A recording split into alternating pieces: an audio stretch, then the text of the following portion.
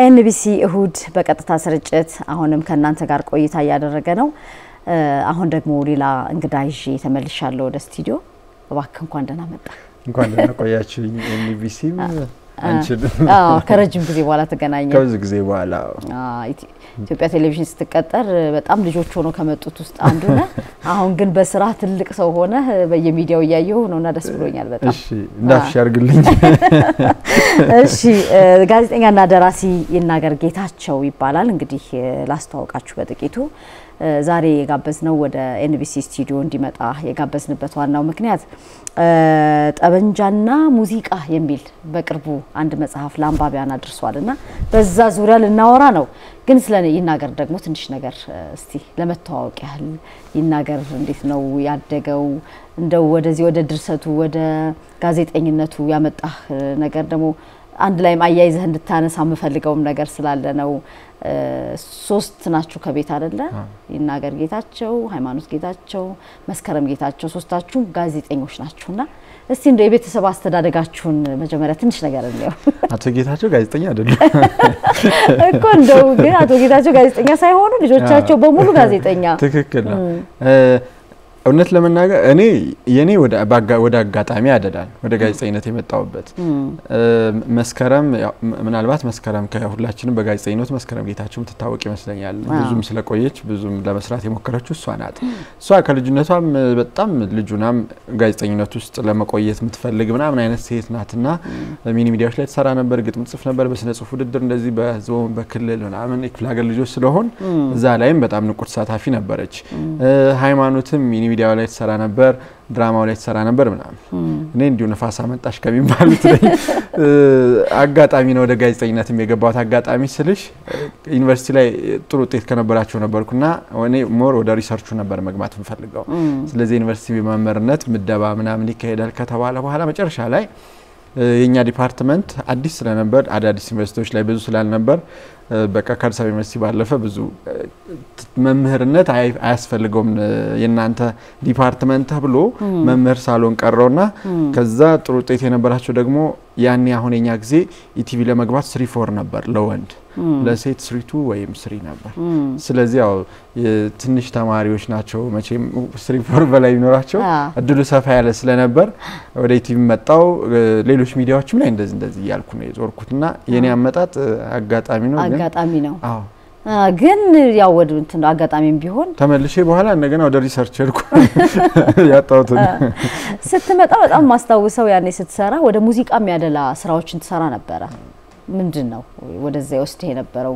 ማለት እንዳልኩ በልጅ ነህ በእድሜ ሙዚቃ ላይ ስትሰራ ደግሞ በጣም oldies የሚባሉ የድሮ ሙዚቃዎች ላይ በጣም ትኩረት ታደርግ ነበር እና እስቲ ንገረኝ ስለሱ። አዎ ኤፍኤም አዲስ 97 ነጥብ አንድ የሰራሁት እንግዲህ ወደ አምስት አመት ነው። አምስቱንም አመት ትዝታን በዜማ የሚባል ፕሮግራም ነው የምሰራው። ትዝታን በዜማ ያው በዜማ እንግዲህ ትዝታን መናገር ነው። ትዝታ ሲባል ያው የወል ነገር አይደለ? ምንም ማህበሩ ማህበረሰባዊ ኑሯችንም፣ ኢኮኖሚያችንም፣ ፖለቲካችንም ምንም የወል ትዝታ ውጤት ነው።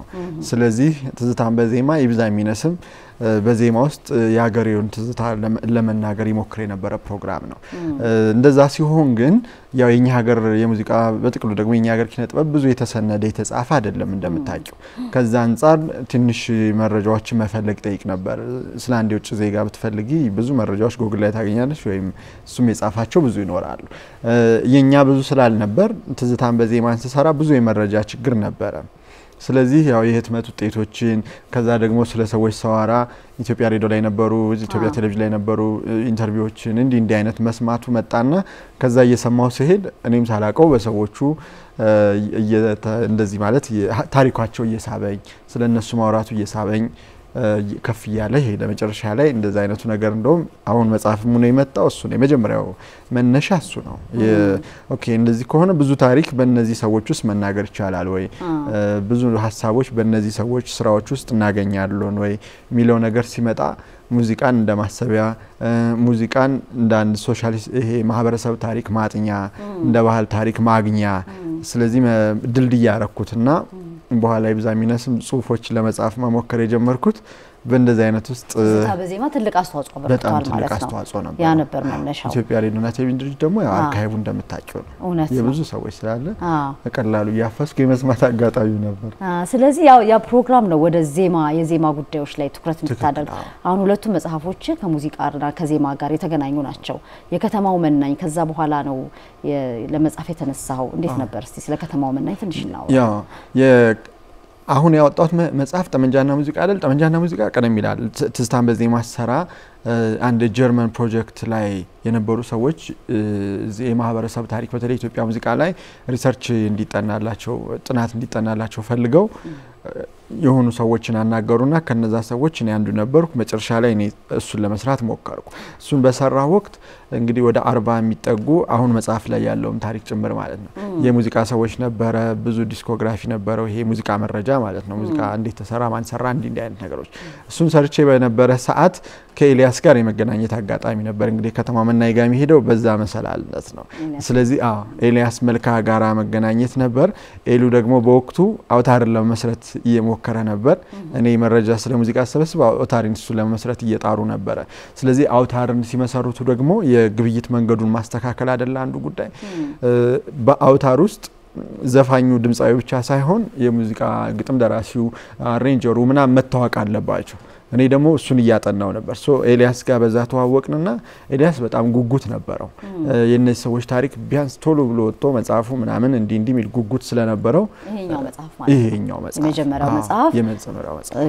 ነው። ስለዚህ ኤሉ ጉጉት ነበረው፣ ገፋፊ ነበረ፣ ቶሎ ይውጣ እንዲል ነበር። anyways እሱም ያው እንዳወቅሽው ባልጠበቅነው መንገድ ምናምን ህይወቱ ሲያልፍ እንግዲህ የእሱን ጉጉት ሌሎች ይተዋወቁ ስለነበር ቢያንስ ያ ጉጉት እኔ ደግሞ እሱ ቢታወቅ ወደሚል በማቀው ደረጃ ስለሱ በኋላ የራሴን ጥንጥዬ ጡብ ማስታወሻ ብተውለት ወደሚል አደገና የከተማው መናኝ እንግዲህ ከዛ ተነሳ። of course ከዛ በፊት ትንሽ መነሻ ጽሁፎች ሳይንስ አካዳሚ ላይ አቅርበን ነበር እኔና ሰርጸ እሱ እሱ ላይም የነበረው ጥያቄ ምን ብሎ የከተማ መናኝ መጣ።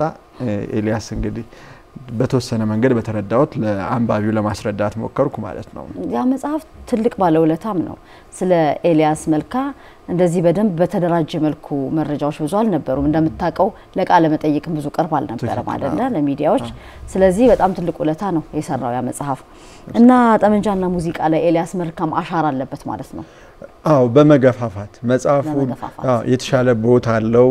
በኢትዮጵያ ኪነ ጥበብ በኢትዮጵያ ሙዚቃ ውስጥ ቢያንስ የቀደሙ ሰዎች በወጉ የተጠቀሙ አይደሉም ኢኮኖሚካሊ። ስለዚህ ታሪካቸው መኖር አለበት፣ የሁሉም ሰው ታሪክ ተዳፍኖ መቅረት የለበት የሚል ቁጭት ነበረው። ያው ኤልያስ የመብት ታጋይ ነው። በተለይ በኪነ ጥበብ ውስጥ ለኪነ ጥበብ ባለሙያዎች የመብት ታጋይ ነው። ትልቅ አቀናባይ ነው። እንደሚታወቀው ሌላ የሙዚቃ ሕይወቱ የሚታወቅ ነው። ብዙ እሱ ላይ መጨመር አያስፈልግም። ግን እንደ ሰው የቀደሙ ሰዎች ህይወት የሚያሳዝነው የሚያሳስበው ብዙ ዘመኑን ኤልያስ ያው ለራሱ ብዙ የጥቅም ጉዳይ ውስጥ የሚታገል ሰው አይደለም። ከሞላ ጎደል ብዙ እና የሚያንገበግበው እንዴት ያንን የሆነ ሰው ጠርቶ እንትናን ያህል አቀናባሪ እንዴት ሳንቲም ሳያገኝ ታሪኩ በወጉ ሳይታወቅ ያልፋል የሚል ቁጭት የነበረው ሰው ነው። ስለዚህ መጽሐፉን ከጻፍኩት በኋላ በሚያቸው ነገሮች ውስጥ በእናት እንደው እነዚህ ሰዎች ታሪክ ወጥቶ የሆነ ቢያንስ ሰዎቹ አስታዋሽ አለን ለካ የሚያቀን ሰው አለ እንዲሉ ፈልጋለሁ የሚል ፍላጎት አምሮት ነበረው እና ያው የሱ ቀደመ። ከዛ በኋላ እሱን እንግዲህ ተከታዩ ይሄ መጽሐፍ ወጣ እንደውም መጽሐፉ ሲመረቅ officially መሀላችን ባይኖርም ማመስገን የምፈልገው አንዱ ያመሰገንኩት ኤሉን ነበር፣ ኤልያስ መልካ ነበረ። የእሱ አምሮትም ስለነበር እንግዲህ ባይኖርም ግን መጽሐፉን እንግዲህ ማለት አልቆ እንዲወጣ አንድ ብርታቱ ነው እኛል በጣም ደስ ይላል። እስቲ እዛ ይሄ ጠመንጃና ሙዚቃ መጽሐፍ ምርቃት ላይ ጽሁፍ ያቀረበው ረዳት ፕሮፌሰር ዘሪሁን ብርሃኑ በጣም ሰፋ ያለ ሀተታ ነው ያቀረበው። ግን ስለ መጽሐፉ ያለውን ነገር አንድ እኔን እንትን ያደረገችኝን ላንብብና ከዛ በኋላ ስለ መጽሐፉ እንሂድ። መጽሐፉ ስለ የሀገር የሃይማኖት እንደዚሁም የባለሙያዎች የፖለቲካና የስልጣን ሽኩቻ ታሪክ ነው። እነዚህ በጣም የብዙ ውስብስብ ታሪኮች ደርዝ ባለው መንገድ ተጠንተውና ተሰላስለው መቅረባቸው ነው ዛሬ እዚህን መጽሐፍ ምስል የፈጠሩት ይላል።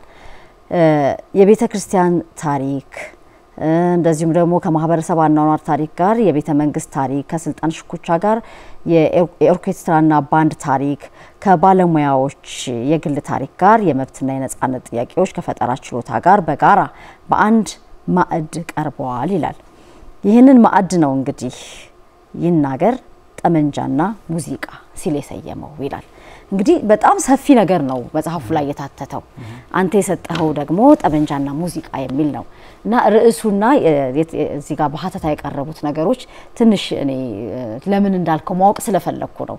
ይሄንኛው እንደ ማብራሪያ ልጠቀመውና ለምን ርዕሱን ሰጠው የሚለውን ጥያቄ ማምጣት የፈለግኩ። እሺ ያው የጠመንጃ ከሞላ ጎደል የኢትዮጵያ ፖለቲካ አምሳያ ነው። በቀደመው ዘመን ውስጥ በተለይ ደግሞ ወደ ኋላ ስንሄድ እኔ ቅድመ አብዮቱን የኢትዮጵያ ፖለቲካ ሙዚቃና ታሪክ ነው በዚህ መጽሐፍ ይዤ ለመምጣት የሞከርኩት።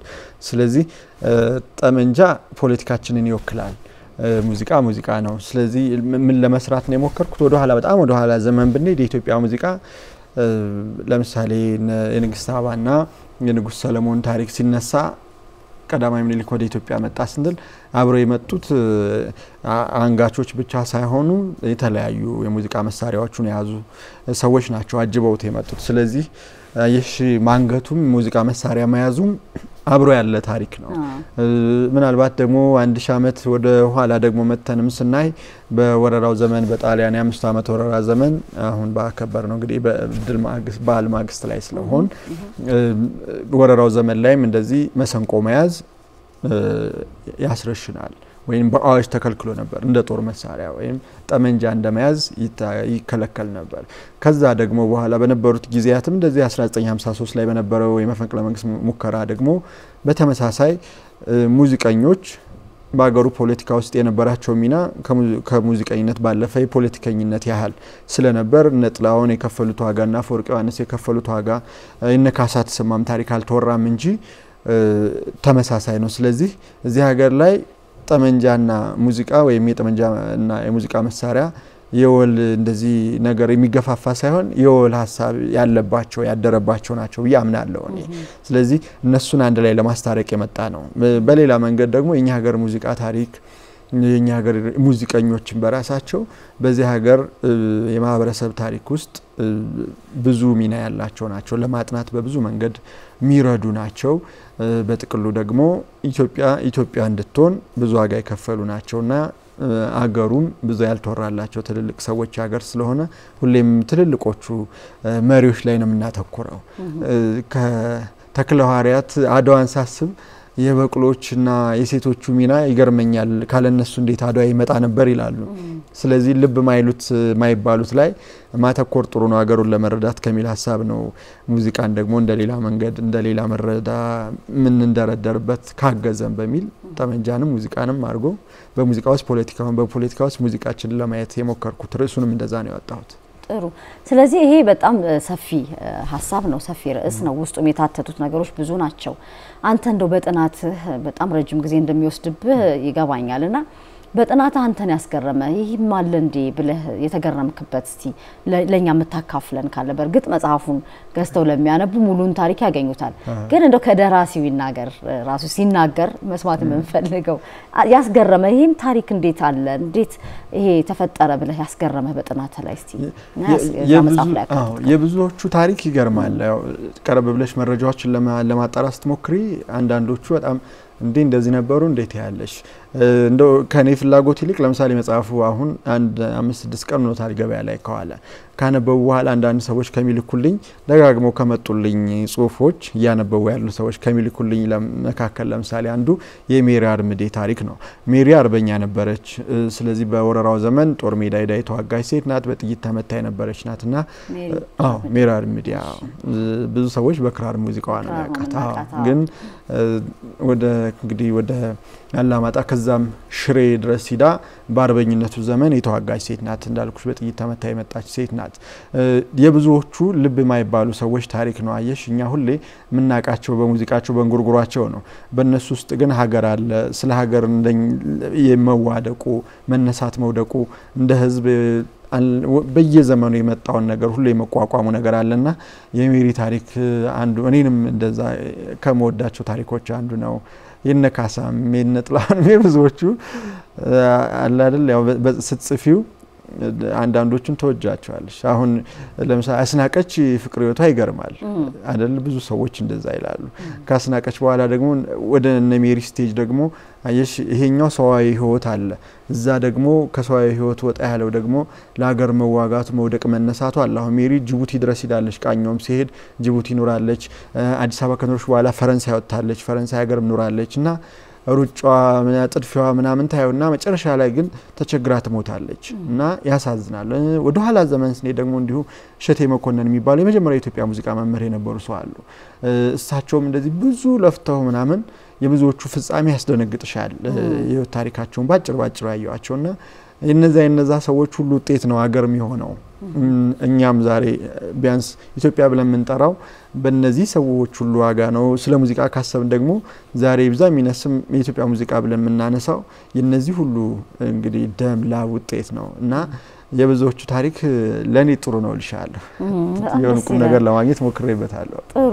እስቲ የጥናት ሂደቱን ግለጽልኝ። እንዴት ነበረ ማለት እነዚህ መረጃዎች ለማግኘት የምትሄድበት መንገድ ብዙ ነው። ስለዚህ እንዴት ነበር ለማሰባሰብ የሞከርከው?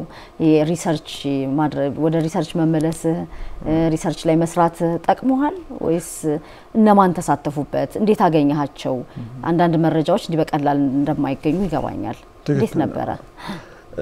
ያው የኢትዮጵያ ሙዚቃ በብዙ መንገድ የተሰነደ አይደለም። በጣም ጥቂት ነው ስለ ኢትዮጵያ ሙዚቃ ለማስቀመጥ የተሞከረው።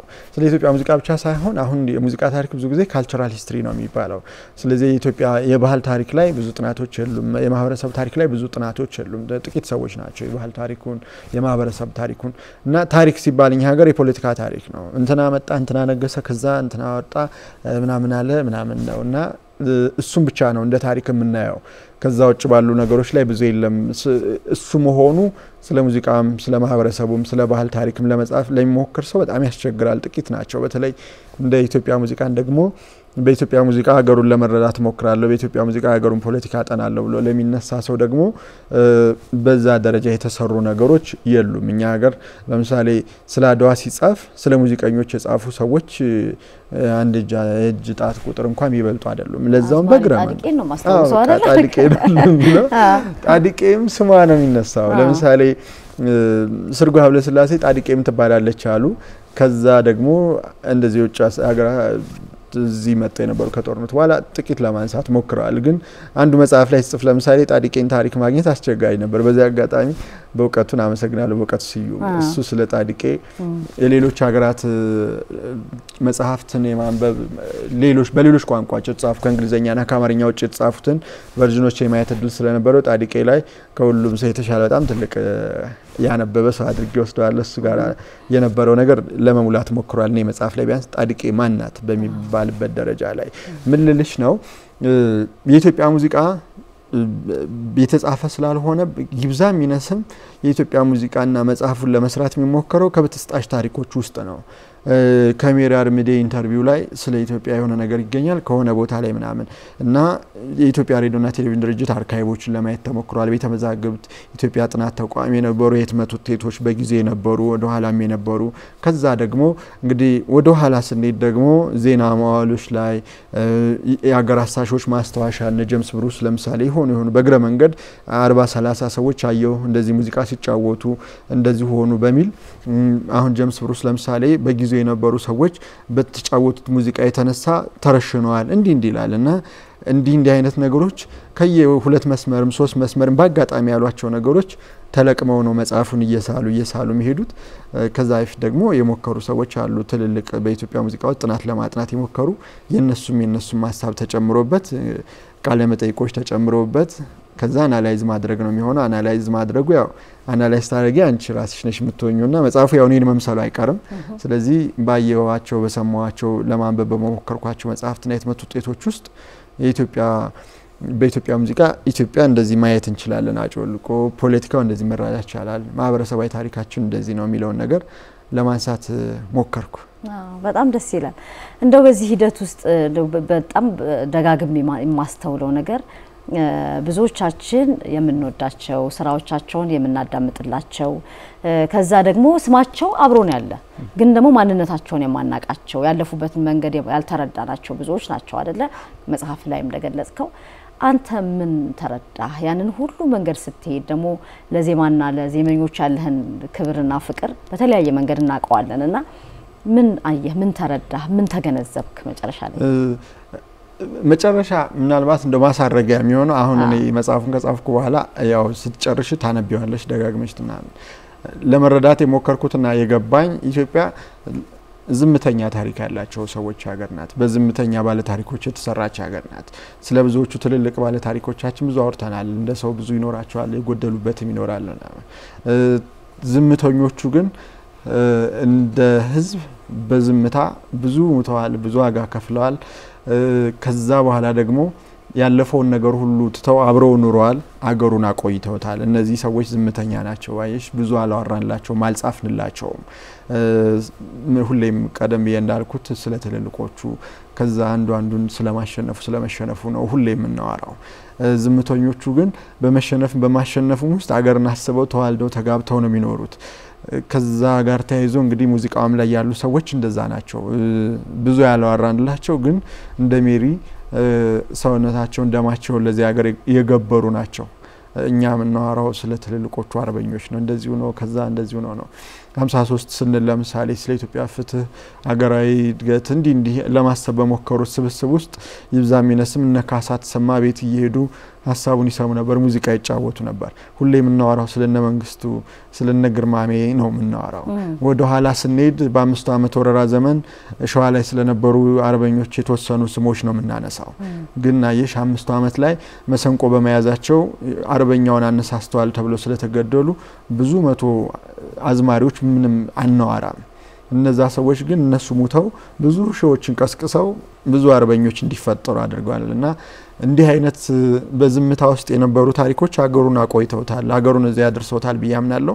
ዛሬም ሀገሩ እንደዛ ነው ብዬ አምናለሁ። የዝምተኞች ነው ዝምተኛ ባለ ታሪኮች የሚጎሉበት ነው። የዝምተኛ ጀግኖች ሀገር ነው እና መጨረሻ ላይ እሱን ነው እኔ ለመረዳት የሞከርኩት። ቀጣዩ መጽሐፍም ዜማ ላይ ነው የሚሆነው። እንደው ከዜማ ጋር ያለን ቁርኝት በጣም እንድታወራኝ ስለፈለግኩ ነው። አይ ዜማ ላይ ከዚህ እንኳን ሙዚቃ እንኳን ይበቃኛል እያልኩ ነው። ሁለት ለመሰለች እኔ ሙዚቃ እንዳልኩሽ ዝም ብሎ ለማሰብ ለምናምን ነው የምጠቀምበት ከመዝናናቱ ባለፈ። ከዛ የሆነ ቦታ ላይ ትንሽ ከሞከርሽ ሌላው ደግሞ ትልቁን አስቦ ይጨምርበት ይሆናል የሚል ግምት አለኝ። ከዛ ውጭ በሙዚቃም ደግሞ ቢያንስ የሆኑ ነገሮችን መረዳት ይቻላል። ሙዚቃ ከመዝናኛነቱ ባለፈ አሁን እንዳልኩሽ ሀገሩን ለመረዳት እንትን ለማ እንዲህ እንዲህ አይነት ዘመኑን እንዲናገር ዘመንን ማናገሪያ ማጫወቻ ይሆናል እና እሱን ለማድረግ ሞክሬ ያለሁ ብዬ አምናለሁ። ይሳካም አይሳካም ኤልያስ ላይም እሱን ነው ለማድረግ የሞከርኩት። ኤልያስ አለ ከዘጠና ሶስት በኋላ ያለው ደግሞ የኢትዮጵያ ሙዚቃ አለ።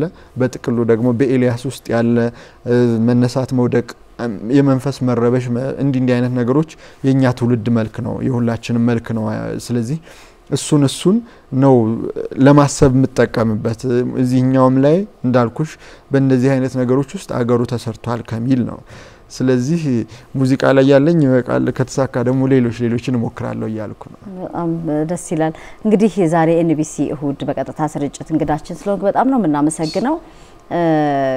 ማመስገን የምትፈልገው በዚህ በመጽሐፎች ሂደት ላይ አብረውህ የነበሩ ማመስገን የምትፈልጋቸው ሰዎችም ተቋማትም ካሉ እድሉ ልስጥ። እሺ፣ ያው ቤተሰብ በብዙ መንገድ እንዳልኩሽ እንደዚህ አይነት ስራዎች ለመስራት ሲሞከር ወይ የሙሉ ጊዜ ጸሐፊ መሆን ይጠይቃል፣ ወይ ደግሞ እንግዲህ ቢያንስ የሚያኖርሽ የተደራጀ ነገር ያስፈልጋል። ከዚህ አንጻር ቤተሰቦች በብዙ መንገድ ስላገዙኝ ቤተሰቦችን አመሰግናለሁ። በስራዎች ውስጥ ደግሞ ትልቅ ቦታ ያላቸው እኔንም በብዙ መንገድ ጥሩ ነገር እንድሰራ የሚያደርጉኝ የሚያግዙኝ ሰዎች አሉ። ረዳት ፕሮፌሰር ዘሪሁን ይሄኛውንም መጽሐፍ የከተማ መናኝንም መጽሐፍ ዘሪሁን ብርሃኑ ማለት ነው በብዙ መንገድ መጽሐፎቹ ላይ ሀሳብ በመጨመር በዚህ መንገድ ቢታይ በሚል ብዙ ነገሮችን አበርክቷል። ሌሎቹም እነሰርጸም ሌሎቹም በዚህ መንገድ ቢሆን በዚህ መንገድ ቢሆን በሚል የየራሳቸውን አስተዋጽኦ አበርክተዋልና እንግዲህ እግዜር ያክብርልን። ሞከርኩ። ሌሎች የጎደለው በእኔ ነው ይላሉ የድሮ ደራሲዎች። የጎደለው በእኔ ነው፣ ጥሩ ከሆነ በእናንተ ነው ይላሉ። በጣም ጥሩ። ስለዚህ ምስጋናህን እንደተቀበሉ ሁሉም እርግጠኛ ነኝ። ተመልካቾቻችን በዛሬው የኤንቢሲ እሁድ የቀጥታ ስርጭታችን ወጣቱ ደራሲ እና ጋዜጠኛ ይናገር ጌታቸው እንግዳችን ሆኖ እዚህ በጣም ውብ የሆነ ቆይታ አድርገናል። እንግዲህ በኢትዮጵያ ዜማና ዜመኞች ላይ የሰሩትን ታሪክ እነማን ምን ሰርቶ አለፉ የሚለውን የሚያትት ትልቅ መጽሐፍ ነው የተወልን። ጠመንጃና ሙዚቃ የሚል መጽሐፉ በቅርቡ አሳታሚው ማን ነበረ? ሲያከፋፋይ የት ሄደው ነው የሚያገኙት? መጽሐፍ ነው። ቀይ መጽሐፍ መደብርና ሁሉም መጽሐፍት መደብሮች ይገኛሉ። ስለዚህ መጽሐፉን እንድታነቡ እንጋብዛለን። መልካም ጊዜ በያላችሁበት። እናመሰግናለን።